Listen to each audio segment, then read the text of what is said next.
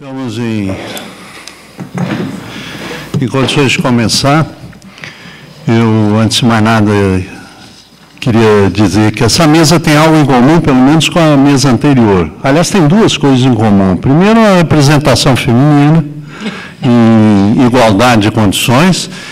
E, em segundo lugar, ela vai tratar de um assunto que, como a questão da indústria, é um assunto é, extremamente desafiador e que até agora, né, até, é, até agora, apresentou dificuldades de consolidação. Apesar do crescimento extraordinário do crédito, sobretudo do crédito ao consumo e ao capital de giro, você teve um crescimento relativamente positivo quando a gente olha as décadas de 80 e 90, mas limitado frente às necessidades. Né? Os 19,5% de formação bruta de capital fixo de 2010 é pouco frente às necessidades né, de financiamento de longo prazo. Ao mesmo tempo, ela manteve algumas características nesses anos, apesar desse avanço, características essas que a, a importância do BNDES e a ausência dos bancos privados no financiamento de longo prazo, e eh, questões eh, outras eh, que eu imagino que todos aqui ainda vão, vão tocar no assunto.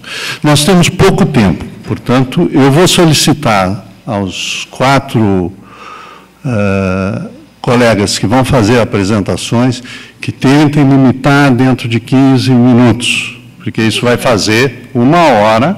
Né?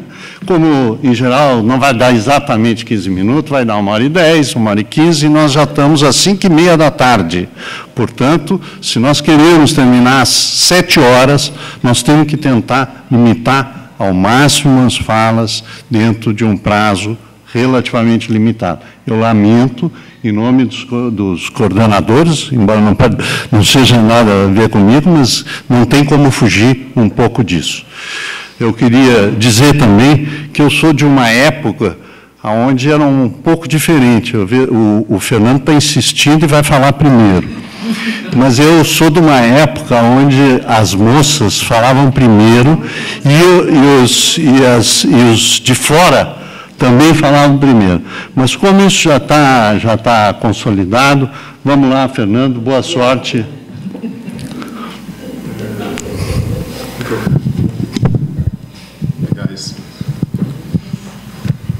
Eu pedi para falar primeiro porque as moças fazem aguardar. Todo mundo espera a palavra feminina, que é a definitiva e a última, última palavra que, que é sempre dada. Devido ao aborto, 15 minutos, é, eu vou colocar o foco em fontes de financiamento. Eu vou tratar pouco do lado do, dos ativos mais do lado dos passivos e dos ativos financeiros. É resultado do segundo relatório de pesquisa que eu estou fazendo. O primeiro foi o lado dos financiamentos e agora é da fonte. A minha ideia é, é falar o que está acontecendo e depois o que poderá acontecer, qual o potencial de fonte de financiamento. Geralmente a palestra, a gente assistiu tantas, eu acho que se a gente guardar uma, duas ideias, já é muito bom. Terceira já é um excesso. Então, eu, pelo menos, tendo dois neurônios, eu guardo duas só. A primeira ideia, eu lembrei, como eu vou resumir o que eu vou dizer? Eu lembrei de um primo que a gente saía para botequim, beber, na hora de pagar as contas, ele falava, graças a Deus, dinheiro nunca faltou. Então, essa é a ideia. E dinheiro jamais faltou para o Brasil. O problema não é de escassez de capital, não é de carência de poupança. O problema é de alocação de capital. Vou tentar provar isso é, nas duas partes. Primeira parte.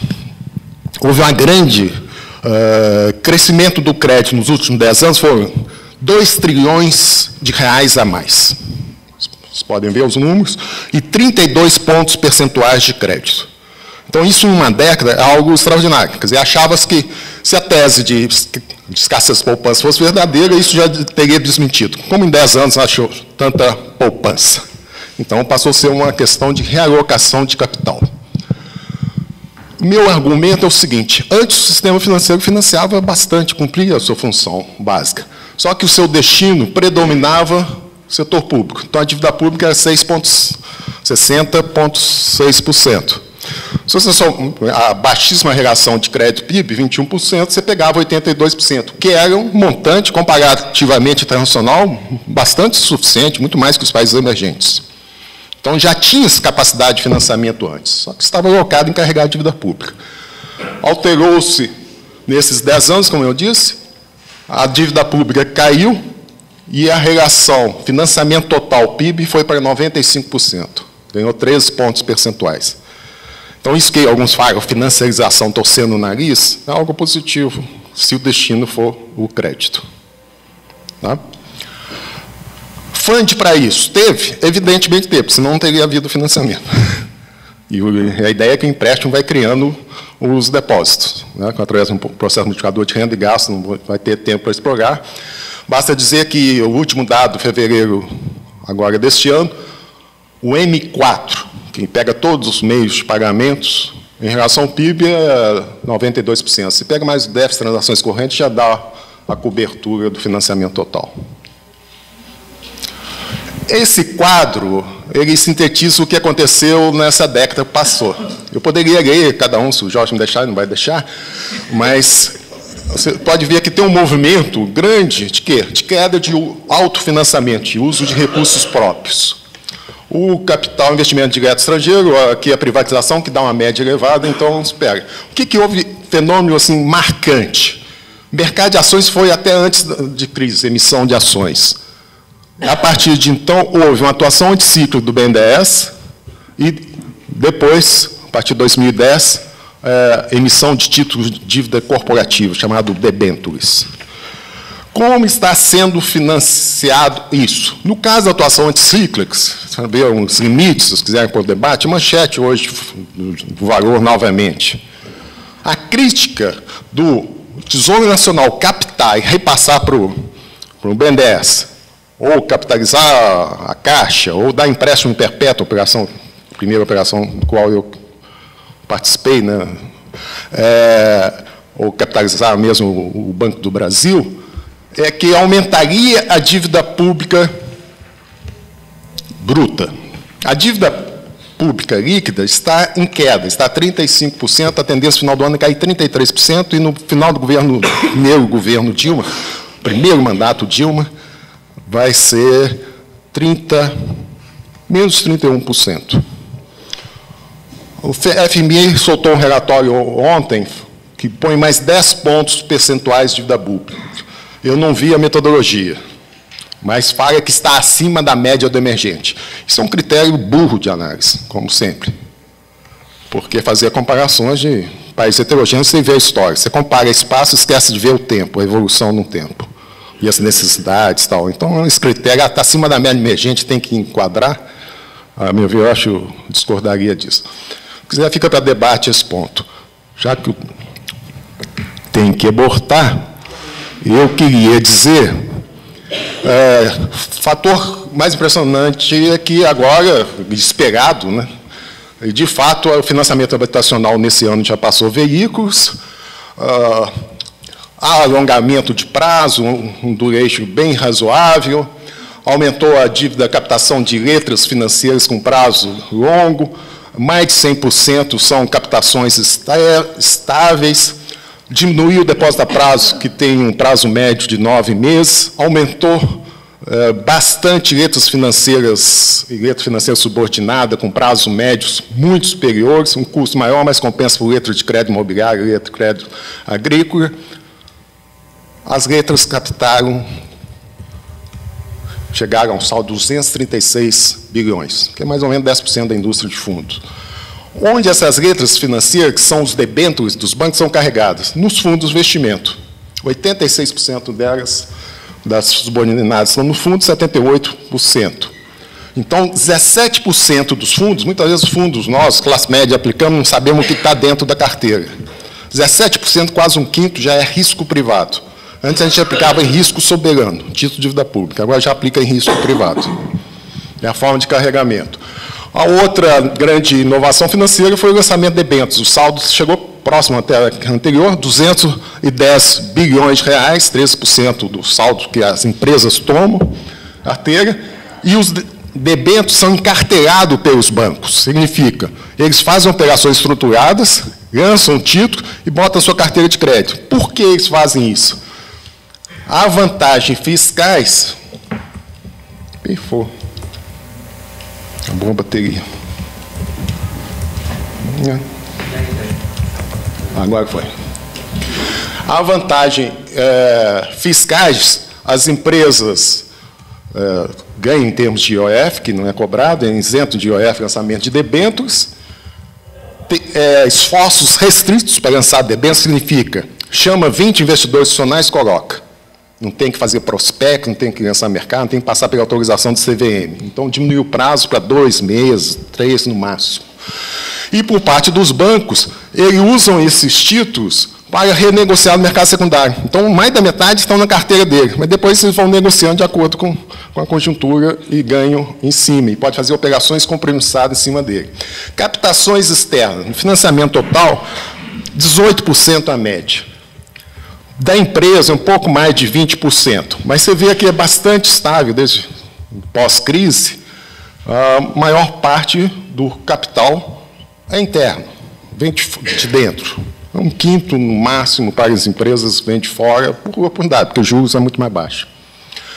Mas eu queria discutir mesmo essa parte, por isso que eu apressei a primeira parte, que é onde está o dinheiro. Aí eu fiz um, na pesquisa eu fiz uma coisa que qualquer um pode fazer, é muito simples, nunca tinha visto ninguém fazer, que é ver como variou a fortuna pessoal dos bilionários brasileiros. Então eu cheguei a uns números interessantes. Eu nunca peguei a lista Forbes. Em 2010, tinham 18 bilionários. Um ano depois, 30. É, em 2011, eram 131 bilhões de dólares. Isso aqui é o valor. 2012, já só para 36 bilionários. E, no último ano, 46. Então, o crescimento de bilionário no país é exponencial. Tá? E há um fundo de 190 bilhões de dólares. Então, aqui aumenta 20 bilhões a riqueza dos bilionários em um ano, e no outro ano 40 bilhões. Para ninguém botar defeito em termos de enriquecimento. Por que eu estou dando ênfase? Porque a gente sempre discute a desigualdade de renda do trabalho. Esquece de pôr, né? Renda do trabalho. E poucos dados a gente tem sobre riqueza que é saldo, estoque. Né? Então, eu coloquei ênfase nisso, comparei com fundo de pensão. Se eu passando isso para reais, dobra aqui, você vai ver que dá não chega ao seu dobro. No ano anterior deu dobro a, fortuna de riqueza corporativa. Quer dizer, o, o, a riqueza de origem trabalhista é maior que a riqueza dos maiores capitalistas. Aí eu fui nessa pesquisa e descobri um texto que foi feito para ver a riqueza offshore, né? quer dizer, fora do país, em paraíso continental, paraíso fiscal. É, em paraíso fiscal, a imagem está ruim por causa da luz, descobriu que o Brasil é o quarto país que tem maior fortuna nos paraísos fiscais, 520 bilhões de dólares, que em 2010, isso dava cerca de 29% do PIB em termos de patrimônio, riqueza, fora do país. É evidente que eh, eu tenho que estudar metodologia mais e não consegui ainda o, o trabalho completo, eu, um pouco atrás. Só para ter uma curiosidade, é China, Rússia, Coreia, Brasil. Depois vai Kuwait. Sei que a Argentina está aqui, ó, 400, que a gente pagava, tem 400 bilhões de dólares. Mas se é Venezuela, Argentina, México, então os países da América Latina. Para mostrar a dificuldade de estudar fortunas. Quem é milionário? Aí eu cheguei ao conceito, existe o conceito, em administração de alta fortuna, dos ultramilionários, aqueles que têm mais de 30 milhões de dólares e recebe, ou recebe 20 milhões de dólares. Tipo artistas, é, Ronaldinho, etc., jogador de futebol, Messi e tal. Quer dizer, quem são os milionários? Nesses nessa fonte, existi, eu cheguei a uma fortuna de 800, cheguei não, pesquisei e vi que tem 865 bilhões de dólares ultras milionários. Você vê que nessa pesquisa eles dão 300 bilhões de dólares, não 190, que é o grau da Forbes. E caiu. Isso aqui deve ser a queda do, do Ike Batista? Não, não é não. O Ike Batista perdeu só 20 bilhões, né? ele tinha 30, passou para 10. Mas ele ainda está na lista. Então tinha 50, caiu para 49. Existe aí um número mais razoável, assim, até mais impressionista, 4.640 ultramilionários no Brasil. Porque se a gente pega o número de milionários, é o país que mais cresceu o número de milionários de 2010 para 2011, era o último dado que tinha. Existe 165 mil milionários no, no país. Ele é o sétimo maior país detentor de milionários. Uma boa safra. Antes que vocês façam as contas se são milionários ou não, lembro que no conceito não tem casa própria. Tá? Tira a casa própria e aí faz a contabilidade dos ativos financeiros disponíveis para investimento. É isso que me interessa. O que está é fonte de financiamento. Então tira, tira a valorização da casa própria, que é a zona sul do Rio toda acha que virou milionária. Né? Vai vender ou vai morar onde? Embaixo da ponte. É, aí eu peguei, desagreguei mais ainda, fui nas fontes, que no Brasil é bem precário, eu consegui no imposto renda. A média, em 2002, existiam 12 milhões de contribuintes e a média era 125 mil bens e direitos. É um número médio, só para a gente ver.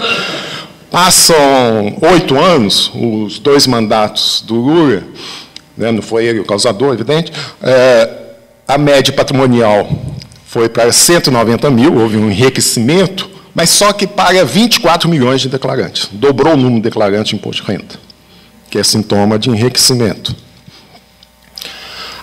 Aí eu dividi, com toda a precariedade que tem, eu quis saber o seguinte, do bem direito, quanto que são ativos de base imobiliária? 40%.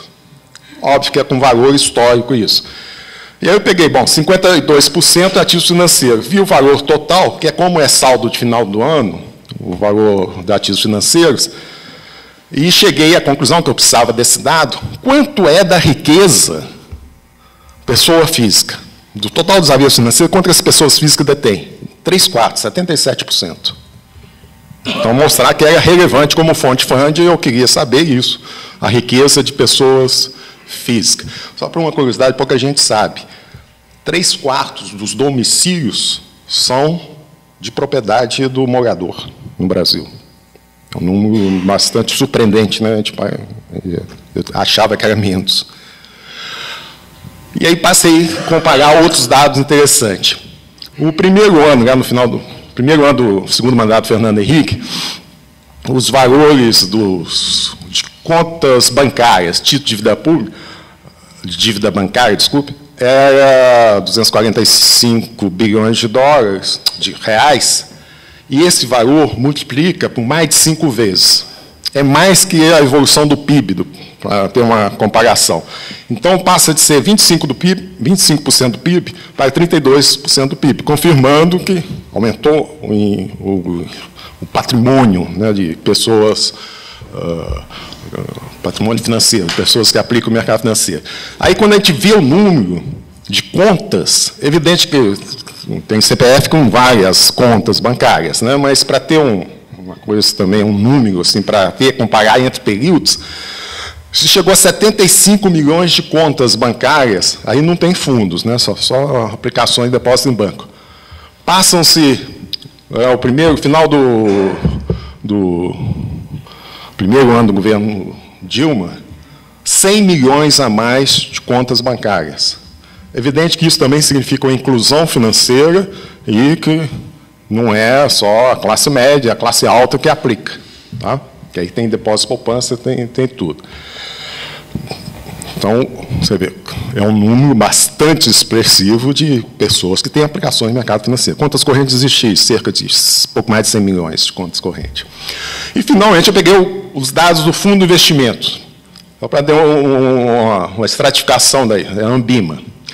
Esses dados são muito complexos, por isso eu fiz uma tabela síntese para ter uma dimensão do que, que é, quem tem dinheiro. Aí os fundos de pensão, os fechados, pegando empresa pública e aberta, são os que têm mais, somados dão 17%. O de fundo de pensão aberto, esse que a gente aplica em banco, tal, PGBR, VGBR, tem menos de 14%. O corporate, que são as grandes empresas, tem mais aqui do que o, o aberto, tem 16%. Private Bank, alta fortuna, Alguns bancos fazem acima de um milhão, mas hoje a tendência é ser acima de 3 milhões para ter um administrador de fortuna.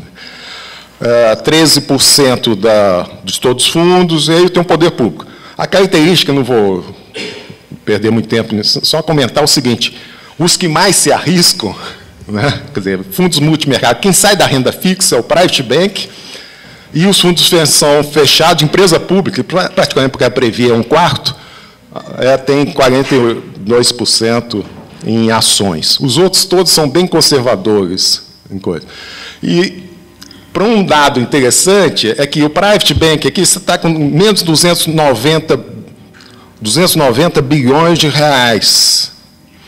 Quando isso em fundos. Agora, quando você pega o total da fortuna deles, a Bima publica isso, tem 470 bilhões de reais, um potencial. E aquele número que eu falei de milionário a 165, uma fonte externa, aqui na Ambima, que está no Private Bank, 50 mil, um terço, menos de um terço. Então, você vê a dificuldade de caçar a riqueza. Né? É, é, os dados são muito. Cada fonte diz uma coisa, mas como você não tem nada, você tem que contar e ver a consistência entre elas. Eu já estou encerrando. É, corporativo, eu já disse o número, né, são 643 fundos de bilhões de fundo de pensão, a média é 15% do PIB. Você vê que teve uma alta antes da crise e depois declina para esse patamar de 15% do PIB. E eu, a carteira desse praticamente não muda, exceto aqui nas operações de investimentos estruturados. Não sei, hoje o seu orientando estava aí, não sei se está, e fez uma dissertação mestrado aqui, mostrando justamente isso. Ele apontando com a possibilidade que tinham os fundos de participar dessas grandes obras, concessões, tal, como eles entrariam. Mostra um crescimento, mas ainda é muito baixo, é menos de 3% da carteira. É um, ainda não é uma alternativa para substituir a renda fixa e tal, mas é uma tendência de crescimento em relação ao que era antes. Fundo de pensão aberto, o total dá 325 bilhões, então somando os dois, você tem um trilhão de reais. E daí? E daí, sim, o que, o governo fez?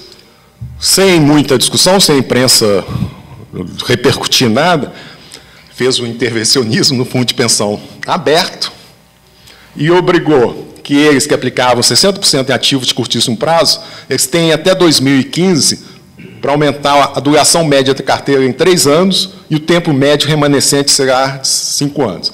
E, os, e o esses abertos. O fechados diminuiu a meta atuarial, significa que tem que haver maior contribuição para complementar o salário, ou então ficar mais tempo trabalhando né, até a aposentadoria, porque senão não aposenta com um salário de acordo com a expectativa de vida suficiente até a morte.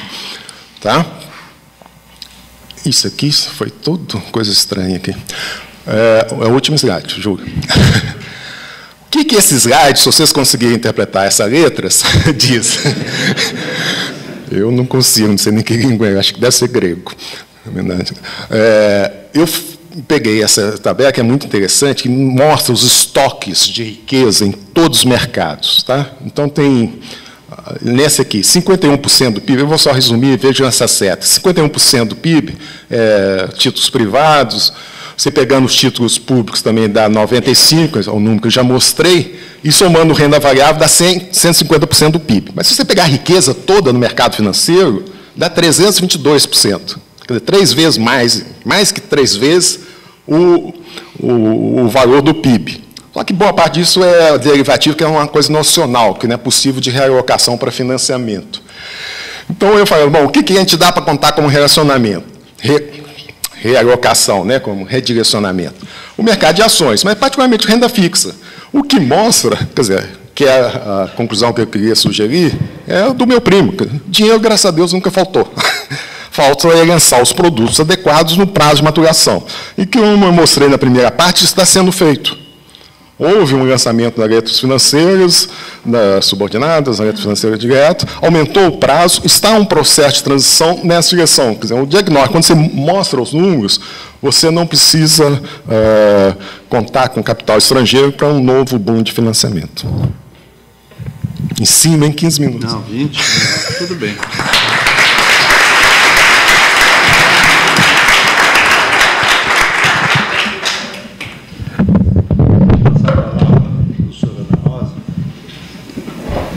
Trazer, mandar um, trazer os de fora antes. Como? É, obrigada, Matoso. Deixa eu só pegar minha colinha aqui. Bom, queria, antes de mais nada, agradecer aqui a organização do seminário na figura do André. É, e vou começar a exposição tentando me, me ater aos 15 minutos é, falando um pouquinho, do, acho que da razão do convite. Né? Então, é o seguinte, nós temos aqui há algum tempo, no âmbito do SERE, desenvolvido algumas pesquisas é, que têm como foco, que têm como mote a discussão dos bancos públicos, é, mas essa discussão do SERE, ela vem a reboque de uma discussão mais ampla que já é feita no Instituto há bastante tempo, que associa aos bancos públicos a ideia de desenvolvimento, né? que, inclusive, o Fernando é um dos pioneiros nisso, tem aqui o Matoso presente, tinha Hernani nas sessões anteriores, que vem fazendo isso na, no Rio de forma importante. Então, essa, essa, essa fala que ela, ela tá, representa uma discussão mais ampla que tem sido feita em termos de bancos públicos. Né? E, obviamente, que aqui eu vou tentar me concentrar numa esfera dos bancos públicos mais específica, relacionada ao tema sobre a qual nós também temos uns debruçados, o que são os bancos de desenvolvimento. Bom, então, é, então, a ideia é um olhar da ideia do financiamento de longo prazo a partir dos bancos de desenvolvimento, o que significa uma das dimensões, mas como vocês vão ver ao final do trabalho, a ideia não é só discutir financiamento do desenvolvimento ou financiamento do investimento de forma mais estrita. Né?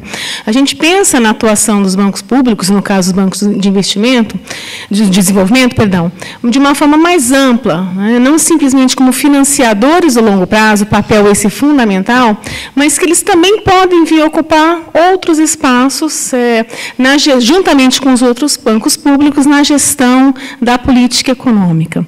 Política econômica aqui pensada de uma forma mais ampla, né, não é política macroeconômica, é também política macroeconômica, mas, sobretudo, os bancos de desenvolvimento podem ter um papel, é, de, como foi amplamente discutido já em outros momentos, a gente vê isso na história, e pode pensar para frente, também como agentes atuantes na gestão questão, por exemplo, da política industrial ou da política é, setorial, são exemplos. Né?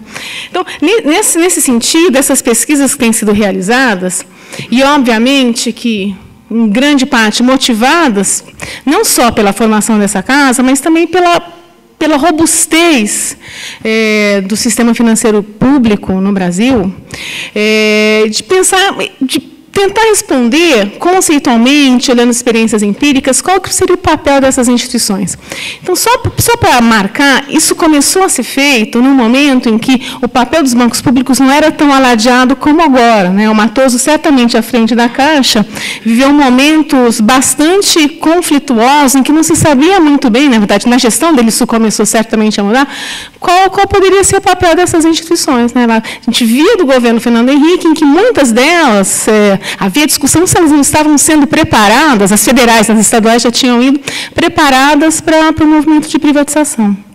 Então, é, vem nesse sentido, né, da, da, percepção da importância de instituições como os bancos públicos, olhando, olhando, na verdade, a robustez do sistema financeiro público brasileiro e pensando em que sentido a gente se poderia é, elocubrar sobre qual poderia ser o papel dessas instituições, que estão sempre na belinda. Né? Elas têm que ter uma atuação pública, mas também, muitas vezes, às vezes mais, às vezes menos, são cobradas de resultados privados. É, então, a gente começou com linhas desse tipo. Né? Por exemplo, a discussão do papel anticíclico dos bancos públicos. Hoje é amplamente discutido. Né? A gente já se preocupava com isso naquele momento. A atuação que os bancos públicos podem ter, por exemplo, na na, na, na verdade, atuação na concorrência é, interbancária, que a gente está vendo com a política de juros executada pelo Banco do Brasil e pela Caixa no período recente. Também estava já colocado lá. E, e, existem outras coisas que a gente pode começar a pensar, a discutir. Por exemplo, o papel que os bancos públicos podem ter como market makers. É, e, no, no, no que diz respeito aos bancos de desenvolvimento, sobretudo?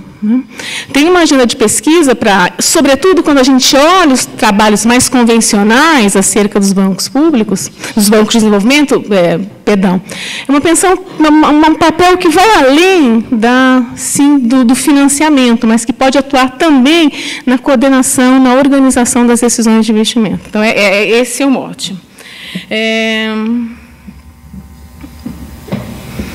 Então, uma vez colocado isso, localizado, em que sentido, é, o que a gente defende aqui? Então, é uma discussão sobre bancos públicos, e dentro dessa casa de bancos públicos a gente coloca os bancos de desenvolvimento, é, e nós defendemos o quê? Que eles têm o papel, eles devem ser partícipes do processo todo, no, da, da, execução da política econômica nas suas várias vertentes. Né? É, esses dados aqui eu tomei um pouquinho emprestado. É, umas informações que foram publicadas esse final de semana, pelo valor. Aliás, não sei se vocês viram o caderno Eu de final de semana, com uma capa maravilhosa, que ilustra como é que eles pensam na intervenção do Estado. Então, era uma, matéria em torno do BNDES, com uma figura muito desagradável na capa. Então, eu tomei emprestado esses dados, é, que a gente consegue é, tirar das informações dos bancos, mas estavam ali prontos. Só para a gente ter uma ideia. Né? Então, esses dados eles comparam. O primeiro gráfico, ele compara os ativos totais de quatro grandes bancos de desenvolvimento. Então, o CDB, que é o China Development Bank, que tem, que tem ativos na, na, na monta de um trilhão de dólares, né, e obviamente que não é o maior banco chinês. O KfW, que é o banco alemão, o Korean Development Bank, que é o Banco da Coreia, e o BNDES. Então, quando a gente vê aí, a gente vê que o BNDES tem, em termos de ativos totais, um volume bastante elevado. Mas os dados relativos são mais interessantes. Né? É, então, se a gente abre o papel deles no crédito sobre o PIB e no papel deles no crédito total, a gente vê a importância do BNDES. Né? Então, certamente, isso é, sobretudo quando a gente olha o papel do BNDES no crédito total ofertado no sistema financeiro, no sistema bancário brasileiro, a gente vê a, a enormidade de papel importante. E o quarto gráfico, né, é, essa já é uma informação diferente, que não é por banco, mas é por país, é uma informação do Banco Mundial, que mostra a relação crédito-PIB de forma harmonizada para os quatro países em questão. E a gente vê que, então, o BNDES tem um papel importante no total de créditos, num país em que a relação crédito-PIB é bastante mais baixa do que nos, nos países com os quais a gente está fazendo a comparação. Então, a China chega a 120, é, 120% do, do PIB, na verdade, do GDP deles. Há estimativas de que esse número chega a 170% quando se, se colocam, colocam as instituições não oficiais, ou o que eles chamam de underground banking na China. Então, só para ter uma ideia que esses bancos são importantes, a importância do BNDES é grande. Né? Então, para que isso? Para tentar ilustrar um movimento recente, sobretudo pós-crise, de volta da valorização dos bancos públicos, no caso, os bancos de desenvolvimento. Né?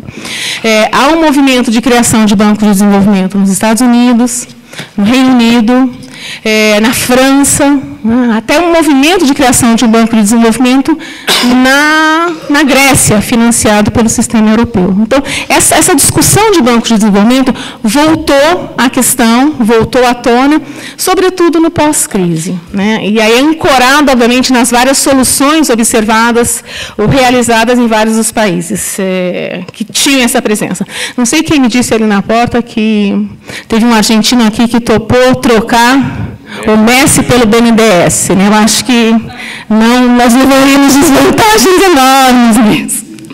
É, mas é bastante elucidativo, né? Ele poderia juntar o Messi e o Papa para ver se né, o pacote ficaria um pouquinho melhor, mas não, não está não tá, ainda não. Precisa de muito um prêmio Nobel junto, como eles tentaram se diferenciar quando da, da, da, escolha do novo Papa. E só essa coisa dos bancos de desenvolvimento voltou à tona, então é só me remetendo à, fala do professor Pedro hoje de manhã, citar, na verdade, na, se, se, se, o termos, se a questão está é, sendo apresentada por vários agentes diferentes, é porque ela está na discussão. Né? Então, certamente, os bancos de desenvolvimento estão na discussão hoje.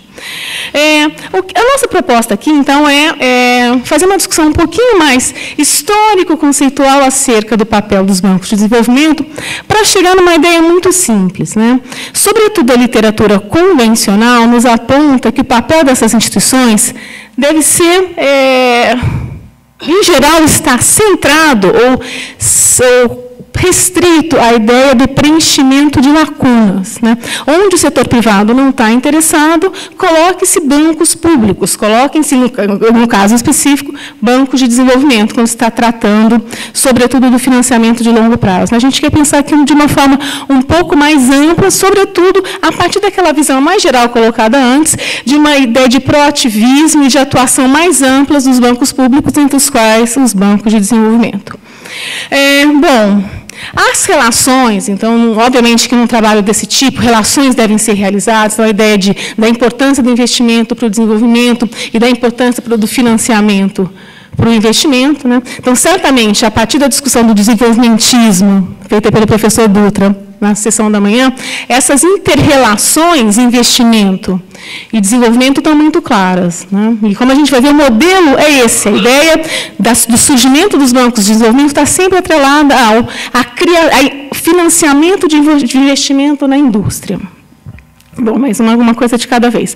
No, no, que diz respeito à ideia do financiamento do investimento, né, a centralidade do financiamento do investimento aparece em vários autores. Né, vários dos grandes autores tratados, é, Keynes, o Marx, é, o Schumpeter, todos eles apontam a centralidade e a importância do financiamento do investimento. É, tem toda uma literatura acerca da relação crescimento, desenvolvimento financeiro, se um determina o outro. Né? Há trabalhos pós-keynesianos, sobretudo do Arestes, que mostram uma inter-relação de determinação. É, bom, então, voltando, se a ideia, se, se a gente está tratando de bancos de desenvolvimento, e é o papel central dos bancos de desenvolvimento é possibilitar, garantir o financiamento do longo prazo, né, numa visão mais ampla, depois a gente vai tentar avançar com relação a isso, é, a gente tem que pensar nas peculiaridades que o financiamento do, do investimento apresenta. Né? Então, a gente precisa de recursos de prazos mais longos, Muitas vezes são aplicações mais arriscadas, então, se os prazos são mais longos, tem que haver funding diferenciado. Esses bancos de desenvolvimento podem financiar segmentos é, que nem sempre são de interesse, ou são mais arriscados, ou são mais complicados do que aqueles que o setor privado deseja financiar, como investimentos setoriais, investimentos em tecnologias ainda não disseminadas. É. Então, e tem também uma questão da divisibilidade. Né? Então, muitos dos, muitos dos investimentos eles não são divisíveis. Então, é um tipo de uma modalidade de financiamento bastante peculiar. E aí a ideia do funding é, é, é bastante importante. Então, quando a gente vai pensar em bancos de desenvolvimento de forma mais ampla? Então, a história, os bancos de desenvolvimento presentes hoje, aqueles que tiveram uma, uma atuação importante na história, é, o que a gente percebe? Né? A gente percebe que há uma ampla gama de definições na literatura acerca do que é um banco de desenvolvimento. E essas, essas várias definições, obviamente, que são pautadas pelas várias experiências vivenciadas. Então, existem mudanças, existem experiências distintas com relação ao formato, com relação à institucionalidade, com relação ao desenvolvimento do sistema financeiro, financeiro. Então, a conceituação de bancos de desenvolvimento, que aparece, que a gente encontra na literatura, sobretudo na literatura convencional, que é onde a gente mais encontra a discussão de bancos acerca dos bancos de desenvolvimento, ela é bastante, ela é bastante diversa, né, em função dessas peculiaridades. Então, certamente, então estou retomando a brincadeira da Argentina, né, não daria para montar um BNDES na Argentina hoje, né? As, as, as determinações históricas institucionais são muito diferentes. Né? O que não nos priva de tentar pensar um pouquinho de forma mais geral, o que, que caracteriza um banco de desenvolvimento nas várias experiências. Então, a gente tem bancos de desenvolvimento que são de capital público ou de capital privado, sobretudo de capital público ou de capital misto, né? mas, em geral, e aqui a gente vai no avanço, pensando sobretudo de capital público. Há instituições depositárias ou não depositárias, por exemplo, o BNDES não é depositário, o CDB é uma instituição depositária. É, alguns têm algumas missões sociais econômicas determinadas, outros não têm. Né? É, o que a gente pode dizer é que a grande maioria dessas instituições elas foram estabelecidas. É, em estágios, em estágios iniciais de desenvolvimento industrial. Né? Então, quando a gente pensa em uma estrutura de banco de desenvolvimento, a gente tem que pensar, tem que ter em mente em que situação ela foi criada. E a grande maioria desses bancos foram criados como para um esforço de financiamento da industrialização. Né? Então, historicamente, mesmo quando a gente sai do conceito de desenvolvimentismo e olha as experiências europeias, é, o que a gente vê é uma grande associação da criação de bancos de desenvolvimento com a necessidade de financiamento da implantação de setores industriais. Então, está diretamente associado a uma determinada visão acerca do que seria o desenvolvimento. Né? É, em geral, então, em geral, o que, que, se percebe, o que, que, se percebe nessas várias experiências? A criação de instituições de, de bancos de desenvolvimento estava diretamente atrelada a uma leitura, a uma necessidade de pouco desenvolvimento seja da economia, a necessidade de industrialização, seja da, do pouco desenvolvimento do sistema financeiro. Então, é sempre nesse sentido, né, sobretudo nas experiências históricas, é, dessa associação do preenchimento de lacunas. É, eu organizei aqui uma, uma, um sistema de fases. De, quanto tempo eu ainda tenho? É, hum, um limite são cinco. Então, na verdade, é, você tem três grandes fases no que diz respeito aos bancos de desenvolvimento. Aqui eu me remeto a um trabalho publicado pelo BID, né, e por que a ele? Porque ele, sobretudo, trata da última fase, né? mas teve aquela primeira fase, marcada pelos 50, 60, onde houve um esforço, onde eles surgiram? Surgiram na Europa, no esforço de de reconstrução no pós-guerra, e na América Latina e na Ásia, sempre tendo por trás esse esforço de financiamento é, da industrialização. Né? Então, havia lá uma noção, uma, ideia mais geral, que é conhecida por muitos, por muitos autores de visão desenvolvimentista, de que essas instituições elas poderiam, elas, ter, elas estariam adequadas, porque a, a, ausência de desenvolvimento, a tentativa de ultrapassar o subdesenvolvimento da economia, sobretudo no que diz respeito às indústrias, justificaria a presença dessas instituições. Bom, houve um movimento, aí tem um, a segunda fase marcar, é marcada aí pelo final dos 80, começo dos 90. É, mas tem uma, uma, uma, questão intermediária. Muitos desses bancos que foram criados lá para financiar, lá atrás para financiar o esforço de industrialização, acabaram se transmutando, porque quando após o movimento, após o processo de industrialização consolidado, né, como em países da Europa, como na Coreia. Então, alguns desses bancos são fechados, alguns são privatizados, alguns mudam um pouco a cara, passam a financiar, por exemplo, segmentos como pequenas e médias empresas, comércio exterior, exterior, é, investimentos é, marcados pela sustentabilidade. É, bom, década de 90, final dos 80, década de 90, vem aí um, um processo também daquele processo mais amplo de liberalização e de questionamento da participação do Estado, há um movimento importante de questionamento dessas instituições. Né?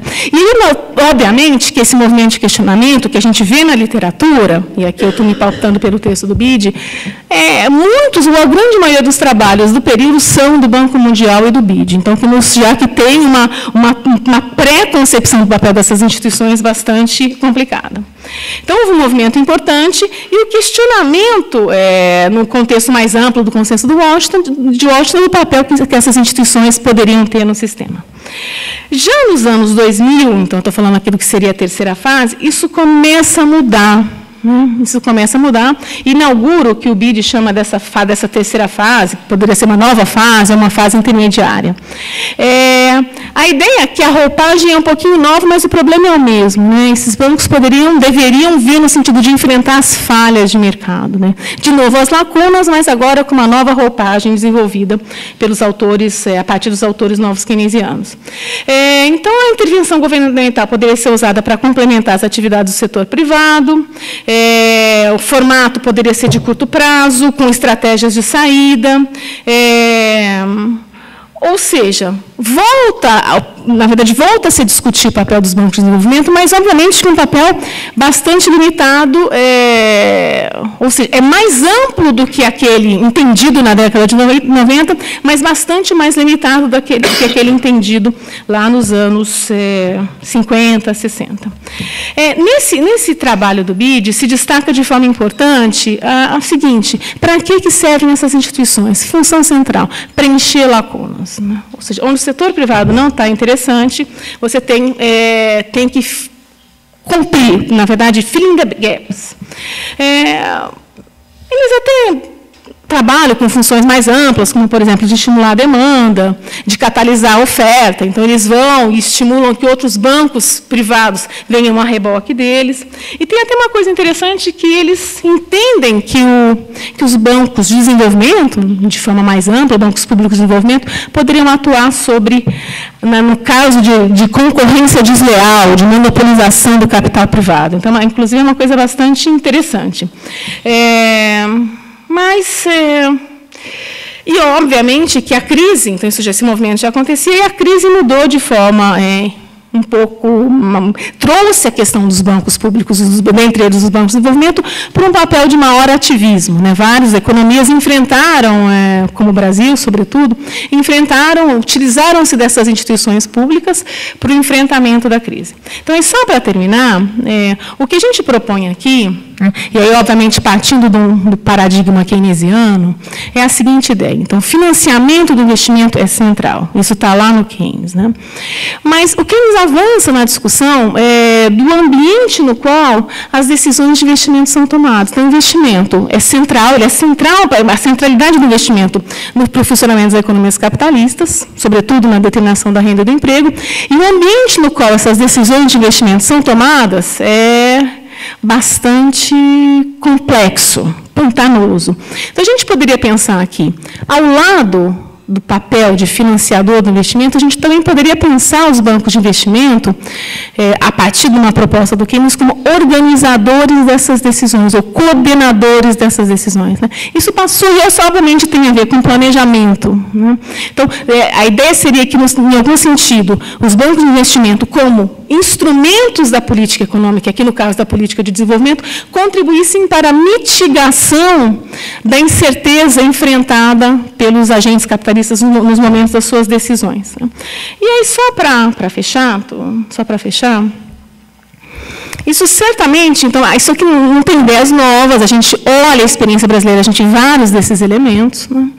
Mas o que a gente percebe é que é, nem sempre, é, então, esse é um elemento central, mas não necessariamente ele é suficiente. Né? A gente tem vivido uma situação em que há, em que há mudanças importantes que supostamente estimulariam as decisões de investimento, isso não tem acontecido. Né? Então, essa seria uma forma de atuação mais ampla dos bancos de desenvolvimento, é, que possibilita um raio, espaço de atuação dessas instituições como instrumentos de política do governo. Né? Fundamentais, porém, não necessariamente é, únicas na garantia da retomada ou, da, ou da, das decisões de investimento no nível agregado. Obrigada.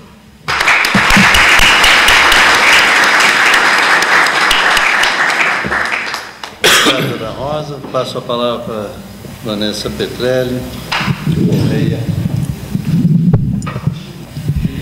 Primeiro, é, quero agradecer o convite, especialmente do André, que está organizando, aí o pessoal da CGE, agradeço uh, por estar aqui nessa mesa. Também considero que seja um debate importante na medida em que a questão do financiamento do desenvolvimento, ela sem dúvida faz parte de todo o debate de qual é modelo que queremos. Né?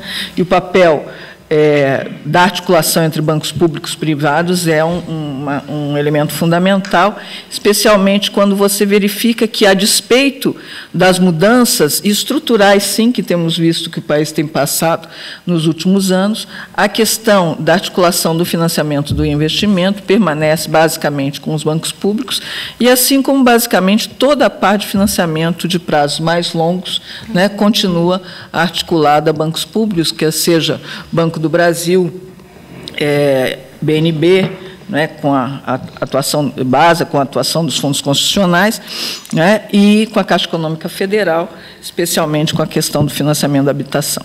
Então, não houve uma mudança. O ponto de partida da discussão é o de que não houve uma mudança estrutural no que concerne à estrutura do sistema financeiro nacional, especialmente nas fontes de funding é, de organização dos sistemas de longo prazo dos bancos públicos. Especificamente no caso do BNDES, a questão é, de não modificação efetiva do funding, apesar de existirem novos arranjos financeiros, o que se verifica é que nós temos a questão do aporte do Tesouro Nacional né, aos, ao BNDES, dando as condições, inclusive, para ele continuar operando é, e avançando fortemente, sendo um elemento central dentro do modelo de crescimento brasileiro, como fora no passado, mas agora sendo o que a gente considera uma das alavancas importantes do modelo brasileiro, que é o papel do Estado ah, na questão da atuação ah, dos investimentos públicos e no direcionamento do investimento privado. Então, a discussão dos bancos públicos é uma discussão central, e o ponto de partida que eu gostaria de destacar é a não modificação da estrutura do sistema propriamente dito.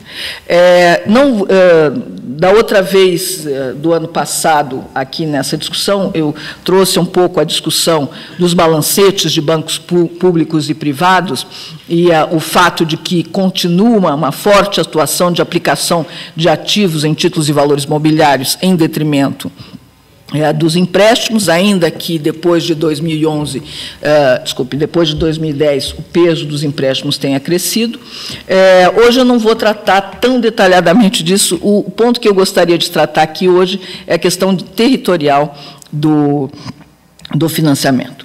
Isso porque eu, eu refiz umas 500 vezes essa apresentação aqui, é, porque eu acho que é um aspecto que não está sendo tratado aqui no momento, nesse debate que nós estamos é, travando, que é a questão da dimensão, da dimensão territorial.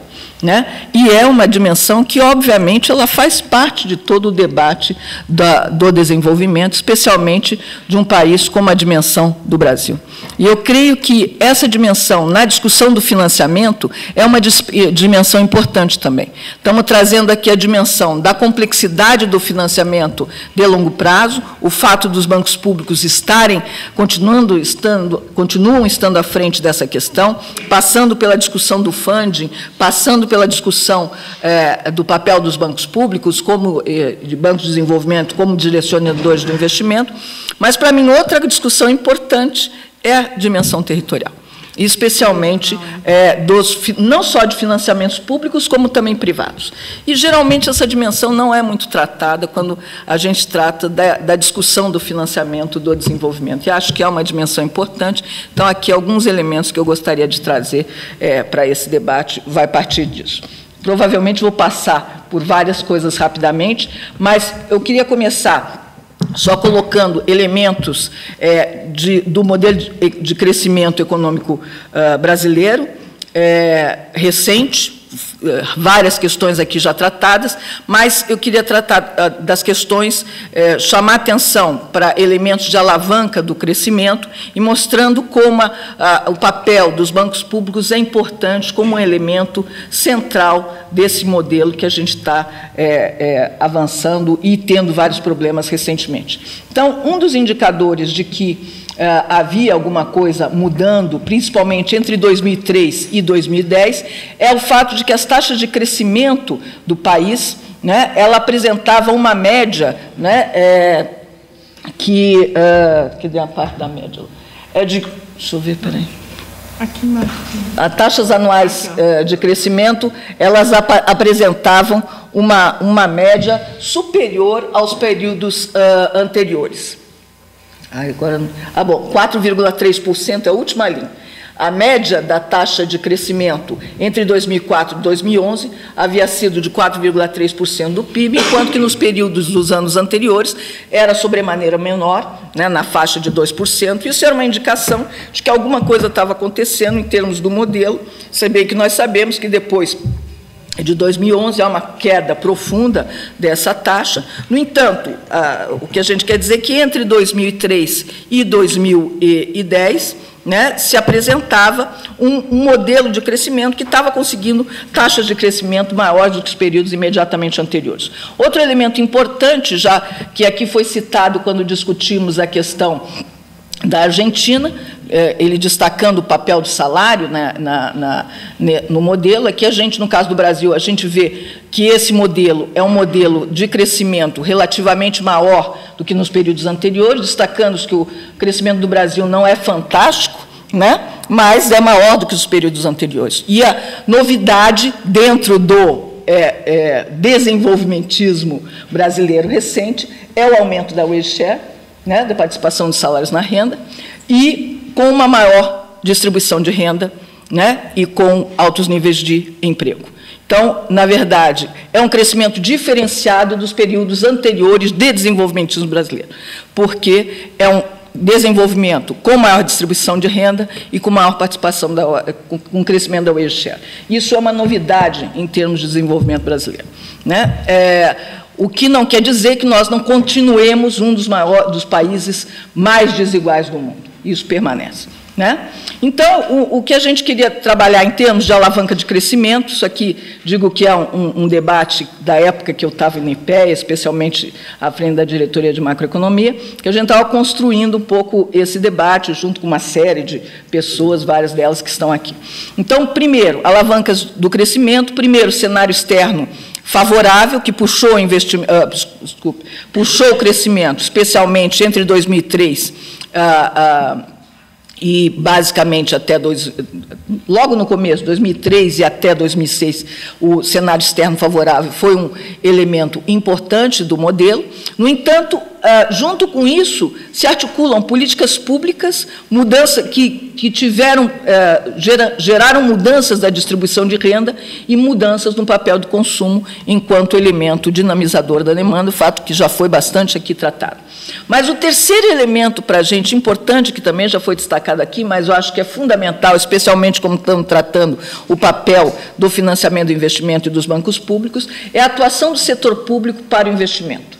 Né? É, essa é uma terceira perna do modelo. O modelo não é meramente modelo de consumo entre 2003 e 2010. A nosso juízo, há uma terceira perna fundamental, que é o investimento público, que teve um papel essencial no crescimento. Né? Então, essa discussão da articulação entre o crescimento e políticas públicas e mudança da distribuição de renda, havia toda uma discussão já lá no IPEA, o Jorge está aqui, que falava, inclusive, do peso das políticas sociais, especialmente das políticas de transferência de assistência e previdência, e da mudança do perfil da demanda para a dinâmica macroeconômica. Esse é um elemento importante de compreensão que isso aqui faz parte do modelo, ah, ah, assim como faz parte do modelo o papel do investimento público.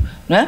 Então, uma das questões fundamentais é que depois de 2006, especialmente por conta do PAC, da, do aprofundamento, você tem o papel crescente do investimento uh, público nesse modelo, e nós vemos, na verdade, a que a contribuição dos componentes da demanda para a taxa de crescimento do produto é, a parte de consumo e investimento, elas passam a ter um papel muito mais importante do que o próprio setor externo, e a gente pode ver aqui a mudança dessa dinâmica, principalmente a partir de 2004, ou seja, os componentes de demanda interna passa, passam a ter um papel importante para a taxa de crescimento do país. Ora, isso é um elemento fundamental.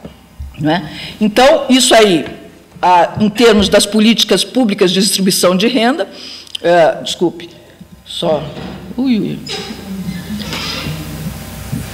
O cenário externo favorável, não vou trabalhar com ele aqui, que já foi aqui bastante discutido, a questão é, é, da, da balança comercial e a especificidade também da piora do perfil, mas isso tendo a ver com a questão do, do, do, do, dos termos eh, de troca favoráveis ao país, né? mas eu quero destacar o segundo e o terceiro elemento, políticas públicas e distribuição de renda, evolução da carga tributária como percentagem do PIB. Um dos elementos importantes é o crescimento da carga tributária brasileira, grande parte é, devido principalmente depois de 2004, ao próprio crescimento econômico, é um elemento importante de crescimento da carga tributária. Portanto, quando a gente cresce menos, um, um problema é a estagnação da carga tributária. Mas, de qualquer forma, o nível da carga tributária brasileira chega a, a, a níveis próximos né, dos, dos países avançados, e esse é um elemento importante para poder atuar com as políticas de transferências de assistência e previdência social, mesmo em condições de controle fiscal de alto superávit primário, como a gente verificou entre 2004 e 2010. Então, em termos de transferência e assistência e previdência social, nós vemos que, a, a, não ser em 2008, elas continuam em níveis bastante, bastante altos, atingindo níveis de 15, ou entre 14% e 15% do PIB, o que é um nível muito alto. As transferências de assistência e previdência são recursos distribuídos à população, é, aí em termos de transferência, e que são elementos fundamentais e afetam, sim, inclusive a distribuição de renda e a questão do próprio consumo. Então, para se ter ideia, o regime de previdência social, é, quer dizer, são vários os componentes, um deles é o regime de previdência social, que equivale a 6% do PIB, e a 40% das transferências de assistência eh, e previdência. Um dos elementos importantes é que a parcela diretamente associada ao salário mínimo da, da, do regime geral da Previdência subiu de 59% para 61%. Sinal de que toda vez que aumentava o salário mínimo, aumentavam as TAPs e, portanto, tem impactos internos. Portanto, o papel do salário mínimo é um papel fundamental no crescimento, de, eh, foi importante para o modelo atual. Por outro lado, outra transferência de assistência e previdência, outras são importância LOAS, uh, o, o regime é, de, de, remuneração vitalícia, dentre, regime mensal vitalício, dentro deles está o, o Bolsa Família, né? E também uh, abonos, abonos de seguro-desemprego. Para ter-se uma ideia do papel do salário mínimo, uh, entre da LOAS, uh, quase a totalidade dos benefícios corresponde a um salário mínimo. Ou seja, aqui eu quero destacar que isso aqui é fundamental para o modelo, e lógico que isso tem impacto sobre o consumo, e junto com isso nós temos crédito ao consumo como sendo elemento fundamental especialmente o crédito às pessoas físicas, ou seja, o papel de crédito aqui é importante para o crescimento do consumo. E dentro do papel do crédito, é, a, a, as pessoas físicas, os bancos públicos também têm um papel importante dentro do crédito das pessoas físicas, ele não está fora, é, muito pelo contrário, o Banco do Brasil tem um papel muito importante no crescimento do crédito às pessoas físicas, é um dos elementos importantes aqui é, desse avanço. Né? Então, em termos do, do, do crescimento do, do, do, consumo, você tem o, cons, o, crescimento do consumo das famílias, que fortemente é, é, resultante das transferências de assistência e previdência, do movimento do salário mínimo e do empréstimo às pessoas físicas. Então, a questão do empréstimo é um elemento fundamental e você tem o crescimento do consumo das famílias, claro que também influenciado pelo crescimento do emprego, proporcionado inicialmente pelo, eh, pelos impactos do setor externo. Mas o que a gente está querendo mostrar é que daí você gera uma engrenagem interna, o, o, o crescimento do setor externo põe em movimento o crescimento do emprego, o crescimento da, da, das da arrecadação tributária, isso põe em movimento uma engrenagem interna que vai movendo a economia e modificando a estrutura de demanda, que isso não é meramente setor externo. É, outra questão fundamental, a terceira perna, é a atuação do setor público para investimento. Então, nós temos os investimentos, aqui são três elementos, os investimentos da administração pública e das empresas estatais federais, que são fundamentais para o crescimento, e não à toa nós vamos ver que eles apresentam um crescimento expressivo depois de 2004 e 2011 apresentam uma queda expressiva, a nosso juízo, esse é um elemento importante da desaceleração de 2011. É uma das pedras, das pedras fundamentais do modelo, que é o investimento público, que desacelera num momento de desaceleração mundial. Ou seja, uma das alavancas importantes do modelo é, e autônomas do modelo, você desacelera no momento de desaceleração. Esse, para nós, foi um grande explicador da desaceleração. Né? E outra, então, na verdade, a atuação do setor público para investimento está nos investimentos da administração pública, nas empresas estatais federais, investimento das empresas estatais federais e também na atuação ah, ah, do setor público para o financiamento do investimento, que é o BN10. Tá? Então, o papel fundamental do BN10, então, a tripla determinação. Esses elementos que a gente quer colocar aqui. Tá? Em termos da questão territorial, é, o que eu queria destacar é o seguinte: esse papel do BNDES tem sido fundamental e do investimento público uh, e, o, e, o, e, o, papel do setor público no próprio direcionamento do setor privado. No entanto, a concentração do crédito é, nas regiões Sudeste e Sul são uma coisa fantástica no Brasil. E isso, obviamente, tem a ver com a relação dos IDHs. É, é, lógico que o IDH não é o melhor indicador, mas, de qualquer forma, inclusive, teoricamente, principalmente a literatura pós-keynesiana, coloca muito a questão da concentração dos créditos nas regiões de maior dinamismo econômico. Então, se a gente vê um mapa do IDH, como a gente pode ver aqui, separando em quartis, a gente é, separou o IDH em quartis, considerando todos os municípios brasileiros, né? Então aqui nós temos o IDH alto, médio, baixo e muito baixo, separado em quartis. Então, obviamente, coisa nós já estamos careca de saber, na né, região sudeste e sul, com o IDH alto. E o que, que a gente vê? O Bolsa Família, por exemplo, ele tem uma relação inversa com o IDH. Né? Ele chega realmente nos municípios mais pobres e ele é distribuído pela Caixa Econômica, né? ou, ou, quando ela não tem agências, é por bancos postais. Ou seja, no Bolsa Família chega a focalização nas regiões mais pobres. Né?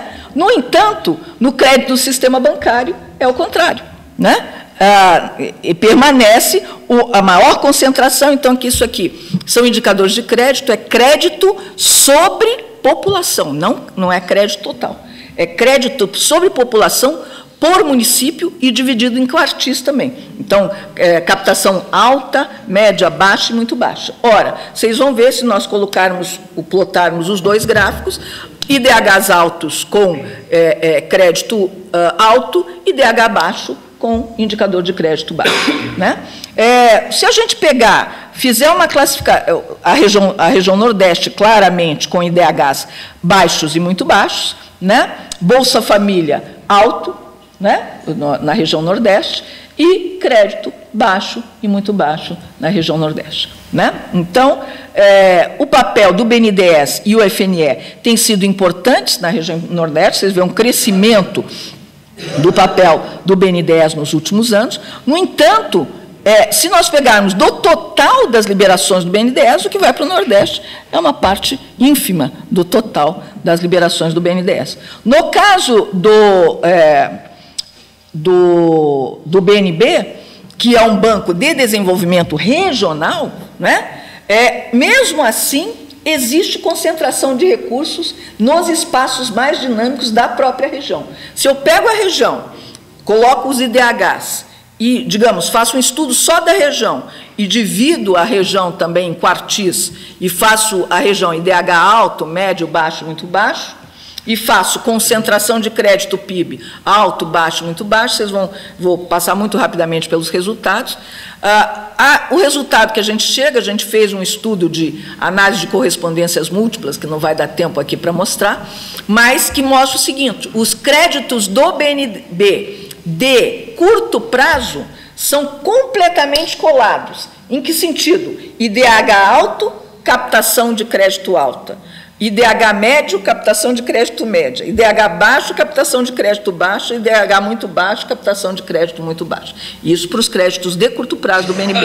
Já nos de longo prazo, não. De longo prazo você consegue distribuir melhor. No entanto, se a gente for ver, em termos de distribuição de crédito, já estou encerrando, as operações do sistema BNB na verdade, o crescimento do crédito depois de 2007 foi basicamente crédito para grandes, é, é, para maiores é, é, captadores. Certo? Então, grande parte dessa expansão do crédito é para maiores captadores, no crédito de curto prazo e também no crédito de longo prazo. No crédito de longo prazo, quase todo o crédito de longo prazo é recurso é, do, do Fundo Constitucional, esse, essa separação aqui é fundo constitucional, né? e grande parte dele também crédito para grandes, mas ainda que haja alguma coisa de médio pequeno, coisa que é, é, para o crédito curto prazo não, praticamente não é. Então, acho que esses são elementos fundamentais. Vou encerrar por aqui, infelizmente não vamos ter tempo de destacar. Outra discussão importante são as receitas dos governos subnacionais de estados e municípios, né, que são as receitas dos estados mais as transferências. Então, vocês vão ver que a concentração de captações mais altas de transferências, de, é, é, de transferências dos estados para seus, eh, considerando cada município, a maior concentração de recursos por pessoa é na região Sudeste e Sul e não é, nessas outras regiões. Ou seja, o papel dos bancos públicos para reverter isso aqui seria fundamental. Né? Então, um debate importante seria o papel é, do BNDES, da Caixa Econômica, se articulando ao próprio BNB, né? É, na atuação de uma maior distribuição em termos de regiões menos dinâmicas, é, é, contrabalançando a questão da forte concentração, inclusive é, é, das receitas próprias de cada município. Então, essa é um, uma discussão fundamental que acho que é importante colocar na roda. Obrigada. Obrigado. Obrigado,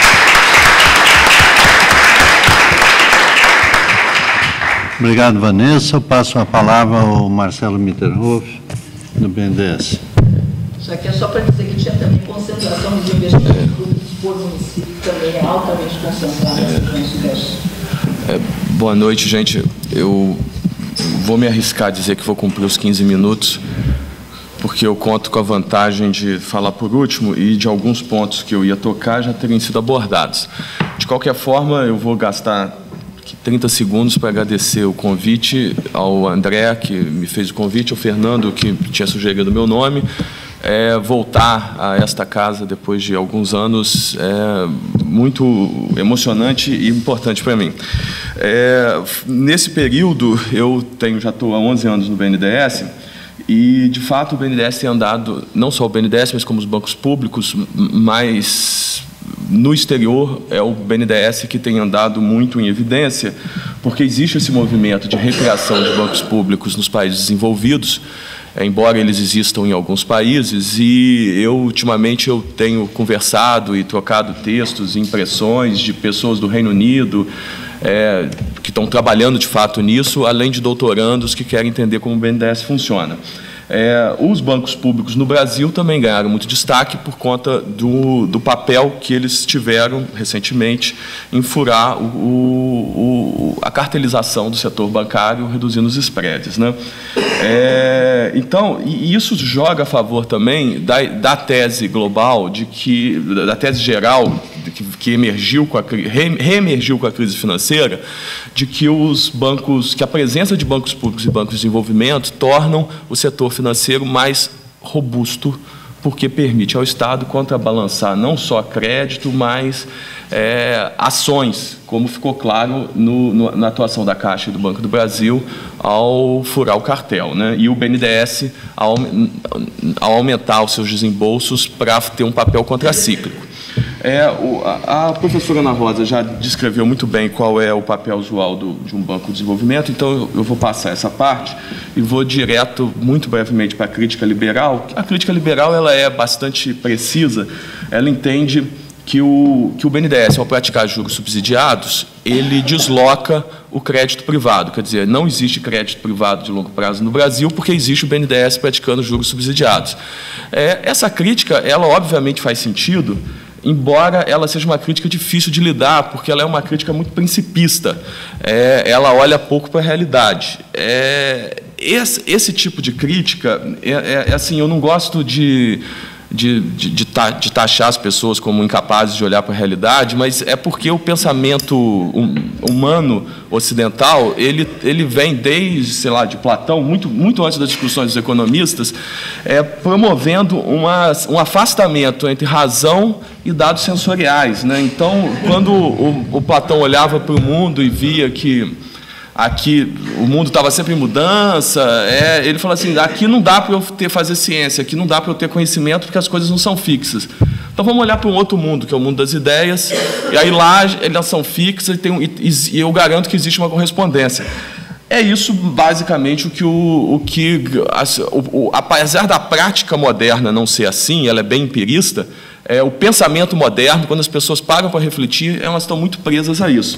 Então, essa é um. Agora, se você pensa de uma outra maneira, quer dizer que o investimento não é um, uma resposta praticamente automática ao estabelecimento das suas condições prévias, inflação baixa, mão de obra, mercado de trabalho flexível, é, infraestrutura eficiente, mão de obra educada, e aí pronto, se tiver isso, o investimento vai. Se você olha para a realidade e vê que as empresas investem é, a partir de dados que a realidade provê, em especial a demanda, é, o papel do BNDES ele passa a ter um papel bastante preciso, que é o de fornecer crédito de financiamento de longo prazo em reais, que é importante, frisar o em reais.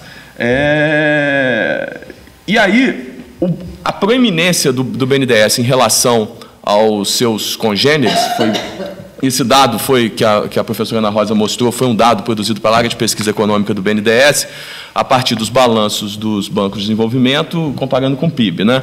É, a gente vê que o, que o BNDES ele só ele só está realmente fora da curva quando você compara com o crédito, porque o Brasil tem um problema, ainda tem um problema, está melhorando, de crédito, de crédito total, que é, o que é um sintoma dos juros, dos juros altos. E é por conta dos juros altos que o BNDES tem um tamanho maior do que tem em outros lugares. Então, nesse caso, o BNDES não é causa da Selic alta, ele é consequência da Selic alta. É... O... E, aí, quer dizer, eu. Aí, aí entram, eu diria assim, existem três mitos que estão sendo criados em torno do, do banco. É, são críticas mais ou menos recorrentes. Eu diria que as críticas e os críticos são mais ou menos recorrentes. É, você tem aí umas três ou quatro críticas e tem umas um, seis ou sete críticos que estão sempre nos jornais, porque quando você olha, você vai falar com as pessoas que tratam de, na Ambima, na, na Bovespa, por exemplo, ninguém vai dizer que o BNDES inibe mercado de capitais. Porque a história do BNDES é uma história de fortalecimento do mercado de capitais. Como é que o BNDES fortalece o mercado de capitais? Primeiro, ele tem um horizonte de longo prazo que é incomum no Brasil, para não dizer inexistente. Isso significa que a gente que a gente o casamento que a gente faz com a empresa ele é muito mais duradouro do que um fundo de private equity é, convencional. Quer dizer, um fundo de private equity que dá para comparar a atuação de fundo de private equity com a atuação da BNDESPAR, ele entra quando a empresa falta um ano para fazer, para abrir o capital, ou entra em algumas empresas sementes com, de capital semente com uma lógica mais curto-prazista que o BNDES. O BNDES não, ele fica seis, sete anos até abrir o capital e ele passa pelos períodos de turbulência dessas empresas para ser bastante claro, hoje a Petrobras é, tem tido, teve desde 2011 desvalorizações das suas ações, porque ela está empreendendo um projeto que é um projeto fundamental, que é o pré-sal. É, a Petrobras, óbvio, é uma, é uma participação estratégica do país. O BNDES, nem se quiser, pode vender. É, mas isso vale também para a JBS, também vale para a Marfrig. É, o banco faz um casamento e o processo de internacionalização da JBS e da Marfrig é um processo que não é fácil, que é arriscado, no entanto, os dados de resultado financeiro da Bendespar mostram que a sua atuação acaba, no conjunto, resultando em lucros muito substanciais. Para ter uma ideia, o, é mais da metade do lucro do BNDES vem de, de operações de renda variável quando, a, em média, a Bendespar responde por 20% do, dos ativos do banco. Então, ela é geradora de caixa, é, ela ganha dinheiro para que a gente aplique na, nas outras, nas outras na, nos outros setores. Né? Quando o BNDES vai desinvestir, há também uma preocupação em fortalecer o mercado de capitais. Primeiro, que durante o período até abrir o mercado, é, você tem trabalhos recentes mostrando que a presença do BNDES no capital de uma empresa melhora a governança, ou seja, transparência da atuação corporativa faz com que os, os, os investidores de menor porte tenham mais, mais possibilidades de investir no mercado de ação.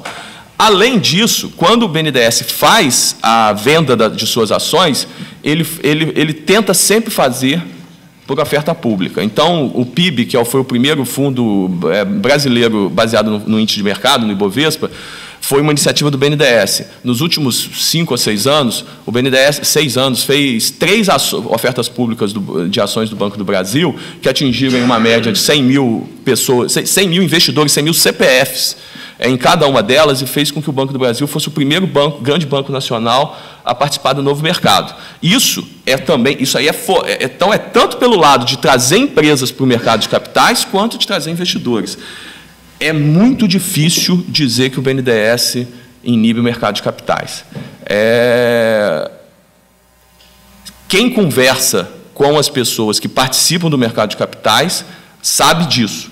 Ocorre que a imprensa nem sempre vai procurar essas pessoas. Quando procura, e a, a, matéria que a professora Ana Rosa se referiu tinha aquela capa ruim, mas na verdade foi a melhor matéria boa, que saiu nos últimos, nos últimos anos sobre o banco.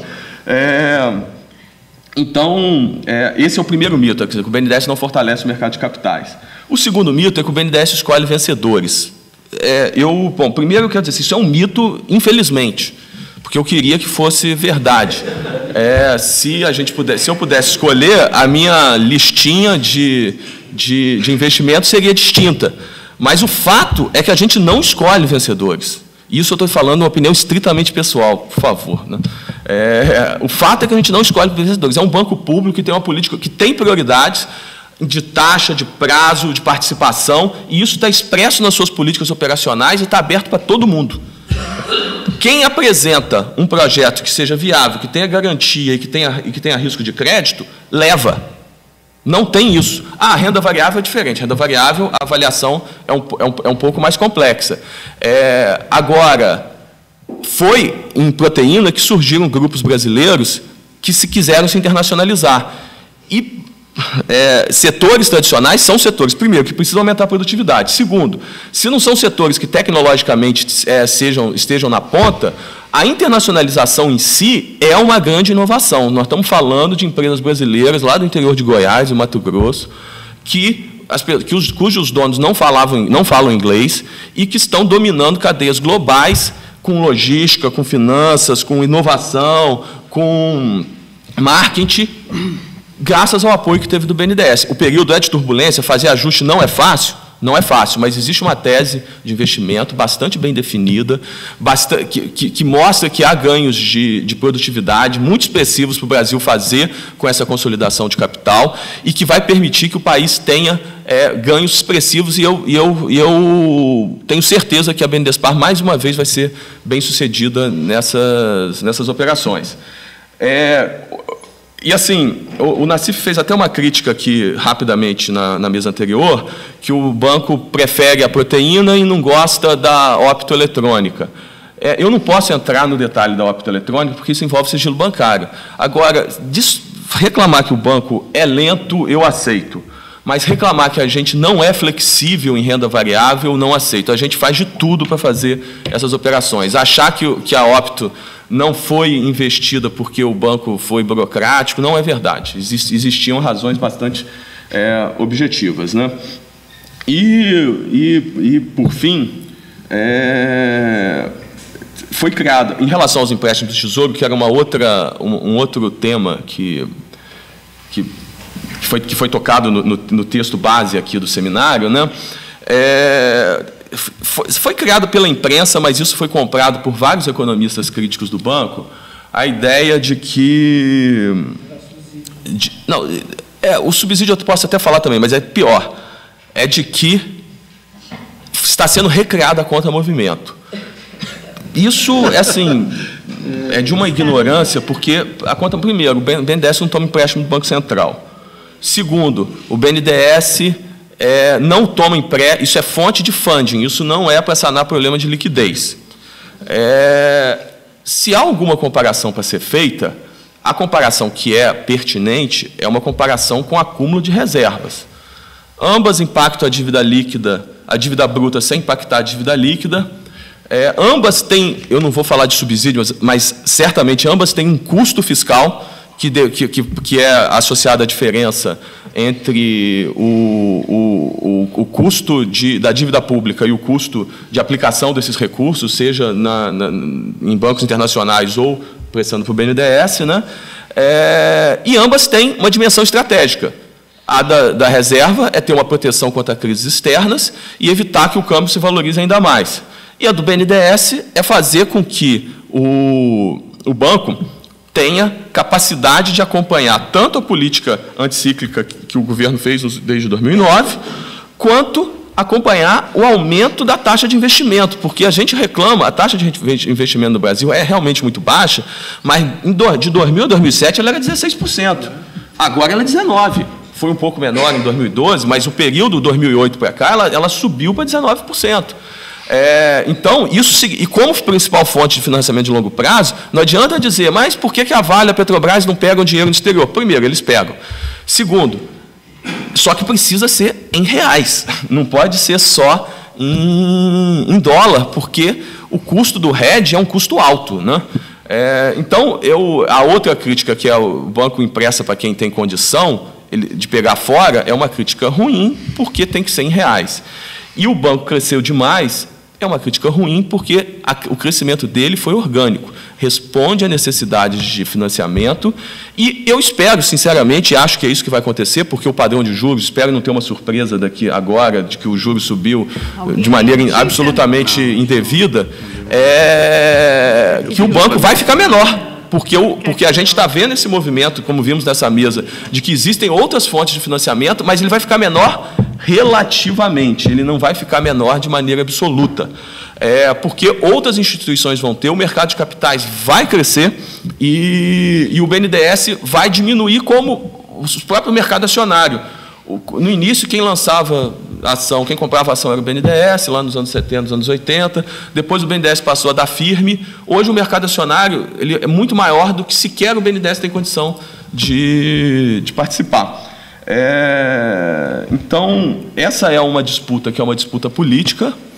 Ela tem é, repercussões que são, que, que, que são de natureza epistemológica, é verdade, é, e com isso eu não estou fazendo nem brincadeira, não, eu acho isso mesmo, mas nessa disputa política, eu, o que eu sinto é que o banco está sozinho, é, no sentido de que quem são procurados são sempre os mesmos cinco ou seis críticos, e, e as pessoas que apoiam o BNDES, que são muitas, não escrevem artigo nos jornais, não falam com jornalistas. Então, eu também peço que vocês façam isso, por favor.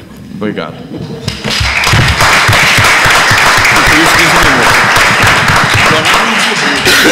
Publica. Eu gostaria de passar rapidamente a palavra ao, ao plenário. Antes, eu gostaria só de, de fazer uma, duas observações.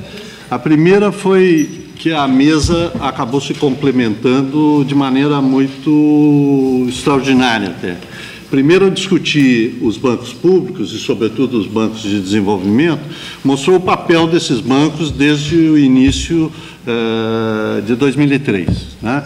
Uh, os bancos públicos, sobretudo os não de desenvolvimento, no aspecto do crédito, né?